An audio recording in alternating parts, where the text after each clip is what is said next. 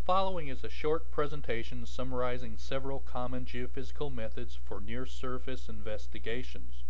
This summary is presented by Geophysical Survey Investigations, PLLC, located in Greensboro, North Carolina. For defining buried waste or delineating landfills, we recommend an EM31 survey which collects apparent ground conductivity and metal detection data. As the name applies, EM61 metal detection surveys are used to locate buried metal tanks, drums, conduits, and other metal objects or debris.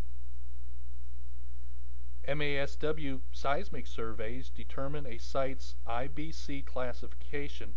IBC stands for International Building Code classification. Refraction seismic provides approximate depth to bedrock and rippability data.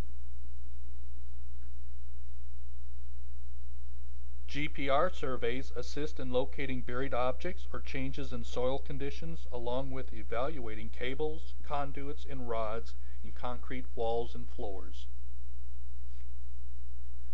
Resistivity surveys provide subsurface information pertaining to depth of bedrock, changes in bedrock or soil conditions, and locating large voids.